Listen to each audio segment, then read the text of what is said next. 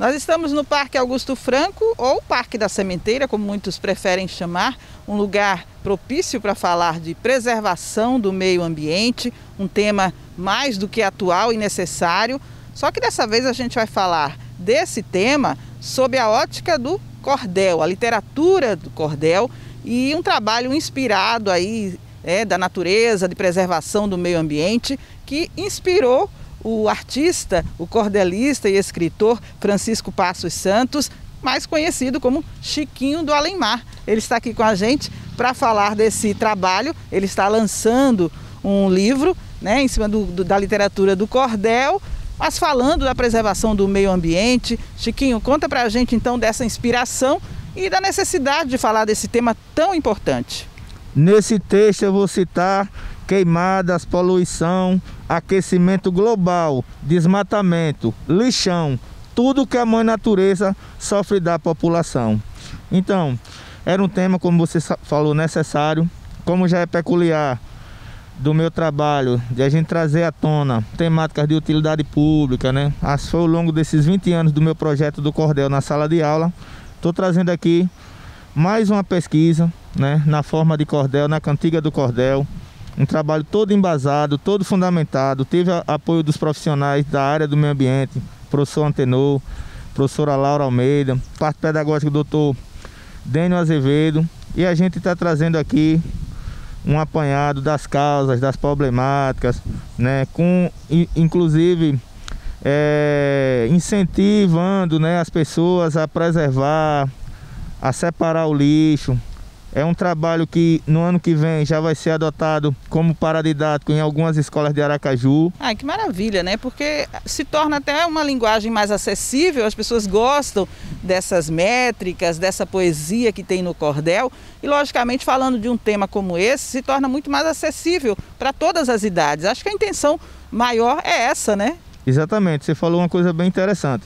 Esse livro, ele serve para todas as faixas, faixas etárias, né?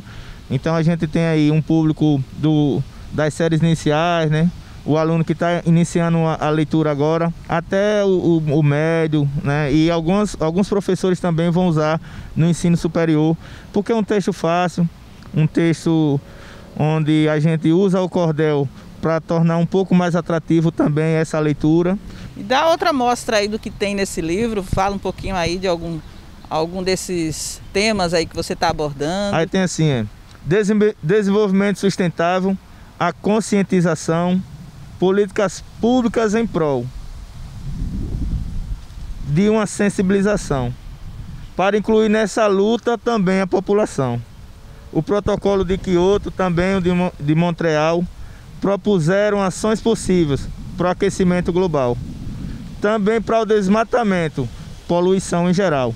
Então a gente fala de tudo um pouquinho, as causas, as consequências, né, quem são os principais vilões, né, que, que, que, que afringe né, as normas ambientais. E como é que as pessoas podem ter acesso a esse, esse livro? Também há algumas escolas que queiram adotar isso? Então, ele, na verdade, a gente está fazendo o lançamento dele aqui né, em primeira mão. Ele vai estar tá disponível em todas as livrarias de Aracaju, todas elas. E a escola que quiser trabalhar com esse material, quiser entrar em contato comigo, é pelo 998 27 0177.